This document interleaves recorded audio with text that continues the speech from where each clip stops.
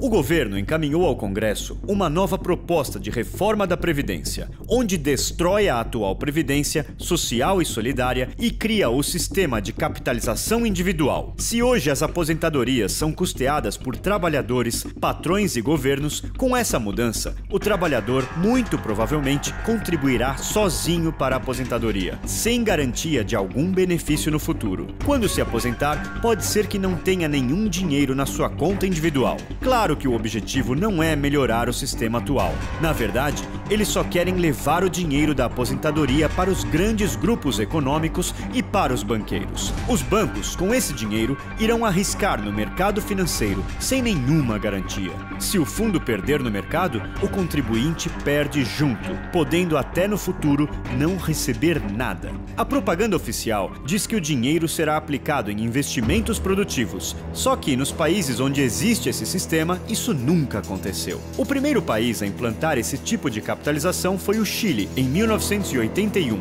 Naquela época, o atual ministro da Economia do Brasil fazia parte da equipe chilena. Agora, 38 anos depois, os primeiros trabalhadores que conseguiram aposentar estão recebendo muito menos do que foi anunciado. O cenário é triste. No final de 2018, as aposentadorias chilenas valiam apenas um terço do salário mínimo daquele país. No Brasil, isso hoje seria pouco mais que 300 reais. Lembrando que o governo brasileiro quer desvincular o piso de benefícios. Com isso, é possível receber menos que o salário mínimo. É uma vergonha. A escolha do sistema de capitalização no Chile trouxe miséria à população. O mais terrível é que lá o resultado dessa política foi uma onda crescente de suicídios entre os idosos. Com isso, o Chile ocupa hoje a primeira posição no número de suicídios na América Latina. O Brasil não tem interesse em disputar esse recorde de suicídios. Se aprovada a proposta do governo brasileiro, todos os trabalhadores serão prejudicados. Os trabalhadores rurais, os informais e outros que não têm renda regular poderão chegar à idade de se aposentar sem ter renda para se manter. A Constituição brasileira diz que a saúde, a previdência social e a assistência social devem ser custeadas por toda a sociedade. E você deve estar se perguntando: nesse novo sistema, como ficam os outros benefícios, como as aposentadorias especiais, por invalidez, auxílio-doença, acidente de trabalho, salário família e salário maternidade, entre outros? A resposta é simples: o sistema de capitalização não cobre nada disso, apenas aposentadoria.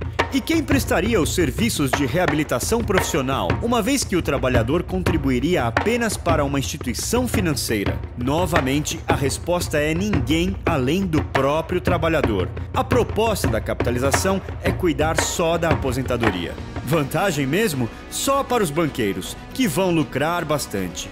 Ah, e os governos, que se livrariam da responsabilidade de atender os trabalhadores, deixando de pagar as aposentadorias e outros benefícios. Já os trabalhadores, mais uma vez, seriam obrigados a sustentar banqueiros internacionais sem nenhum retorno. Não dá para aceitar essa proposta. Diga não à capitalização na Previdência Social. Compartilhe esse vídeo. A Previdência Pública é patrimônio do povo brasileiro.